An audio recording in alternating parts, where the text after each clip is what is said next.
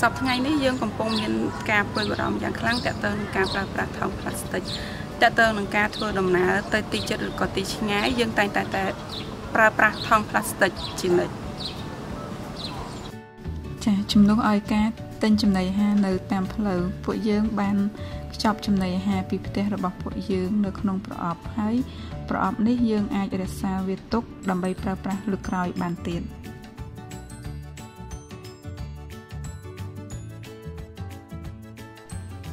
បន្ទាប់មកទៀតពួកយើងក៏បានប្រើប្រាស់ដបទឹកផ្ទាល់ខ្លួនរបស់ពួកយើង ហើយពួកយើងក៏អាចប្រើប្រាស់ដបទឹកនេះនៅលើក្រោយលើក្រោយទៀតដូចជានៅក្នុងសន្តាគារដែលពួកយើងស្នាក់នៅឬក៏នៅក្នុងការិយាល័យអង្គការដៃគូរបស់ពួកយើងជាដើមនៅពេលនេះយើងបានត្រឡប់មកដល់ក្នុងពេញវិញហើយចំពោះការធ្វើដំណើរលើកនេះយើងព្យាយាមកាត់បន្ថយការប្រើប្រាស់ថង់ប្លាស្ទិកដូចជាការធ្វើដំណើរទៅភូមិយើងកាត់បន្ថយការវិច្ឆេបបាយដោយប្រើប្រាស់ថង់ប្លាស្ទិកទោះបីជាវាមិនអាចកាត់បន្ថយបាន100%ក៏ដោយតើអ្នកធ្វើដូចម្តេចចំពោះ plastic free ជួយបាន